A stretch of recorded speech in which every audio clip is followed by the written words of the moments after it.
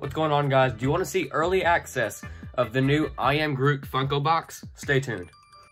When I ordered this box, I thought it was going to be Thor Love and Thunder because Collector Corps said that on their website, but I Am Groot had not been released and I think that's what we got instead. But these are some pretty cool pops and t-shirt and pin and a sticker.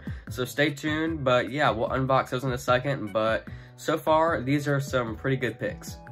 Let's go ahead and start the unboxing. Right in front of me, I have the I Am Groot box. Let's get it open. The first thing we have here is a t-shirt, and yeah, it's a pretty cool t-shirt, so let me show you what it is. Alright, so this is what the t-shirt looks like on me, and yeah, it's basically Groot just holding some food, and yeah, I don't think it, it looks just like a Funko Pop, so if you wanted to see him in a regular um, position, I don't know if you'll get that.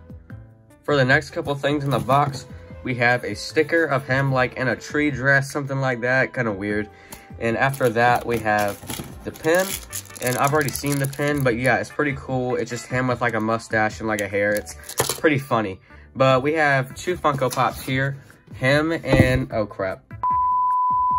Here with Groot, we have some S-tier Funko Pops. I think it's like a revamped version of the original Groot that was in like a bowl. But yeah, it's an awesome version. They definitely needed to revamp that one. And a surfing Groot. So let's go ahead and get these out of the box.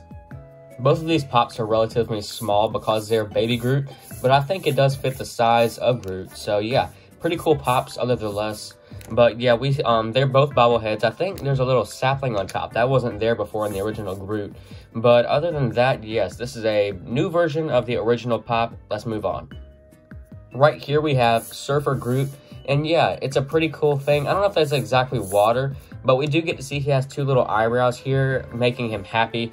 And it's the same mold as the other one, except for him doing like a surfer stance. So if you wanted a little bit more extravagant Groot, here you go. I don't know if there'll be any more I Am Groot Funko Pops in the future, but I do hope so because Groot does sell out very well. Thanks guys for watching this video. I hope that you would subscribe and comment down below your thoughts on the video and some of these pops. And I hope that you would go out today, have a great day, and I'll see you guys later. Peace. I'm always at the yeah, and you are not bad. Deep, keep on going till you hit the spot.